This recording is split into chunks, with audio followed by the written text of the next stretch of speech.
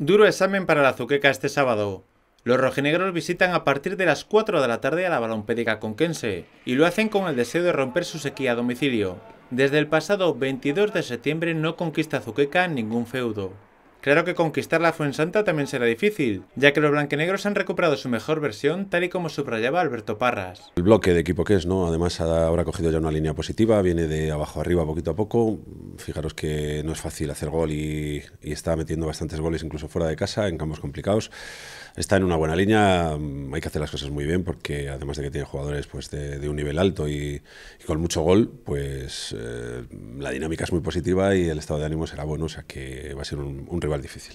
Ante todo esto, los azudenses tendrán que evitar los errores de las últimas jornadas y mantener cierto equilibrio en su juego. Estar bien, ser un equipo equilibrado, fuerte y no cometer errores y acertar con las ocasiones que tengamos, porque evidentemente es un equipo difícil, nos va a generar muchos problemas si no estamos bien como equipo, como bloque y si cometemos errores, pues no tenemos ninguna opción, está claro, porque ya te digo, venimos de perder un partido con un equipo de la, de la parte baja mm, por dos errores increíbles y entonces un equipo de la parte de arriba no te perdona. Entonces hay que estar bien, hay que ser un bloque, hay que volver a la dinámica que traíamos. El técnico mostró su satisfacción porque ya haya finalizado el mercado invernal y con ello hayan acabado las distracciones. Lo primero es estabilizar el equipo, ¿no? Yo creo que ahora ya se ha cerrado plazo de fichajes, de idas y venidas, hemos tenido bastantes, bueno, eh, intenciones de irse, aparte de las que se han ido, y y posibilidades de no continuar, de haber ciertas, eh, por lo de siempre, ¿no? controversias entre futbolistas, jugadores, directiva, porque quiero irme, no quiero irme, tengo opciones, no tengo opciones, incertidumbre porque aunque no lo quieras, pues piensas que te vas a ir, te ofrece, hay ofrecimientos, hay posibilidades. Yo creo que ahora ya está todo estable, ya sabemos los que vamos a acabar.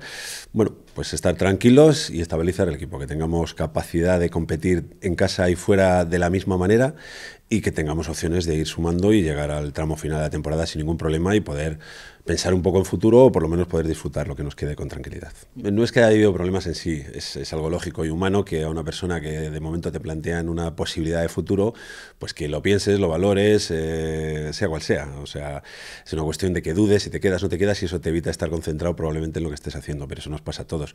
El último día Javi Martín, que ya sabía que se iba, pues fíjate, tuvo un partido el muchacho que tuvo un montón de ocasiones de gol y no era el Javi que nosotros conocemos. O sea, no, no se fallaba por, por lo del día del Toledo, por ejemplo, fallar el penalti y tal. Son circunstancias puntuales. Es no estar metido en el partido y eso nos ha pasado a, varios jugadores. Entonces, ahora ya no hay opción, ya todo el mundo está tranquilo. Una semana más, Parras tendrá que ajustarse a las numerosas bajas que arrastra el equipo. Miga, sobre todo, los conocidos ya de Osorio y Zamora. Y bueno, vamos a ver cómo va la semana. En principio, Lucas ha tenido un golpe muy fuerte de hace dos semanas, el último partido en casa, que no le permitió entrenar en toda la semana, en que le, convocamos el domingo.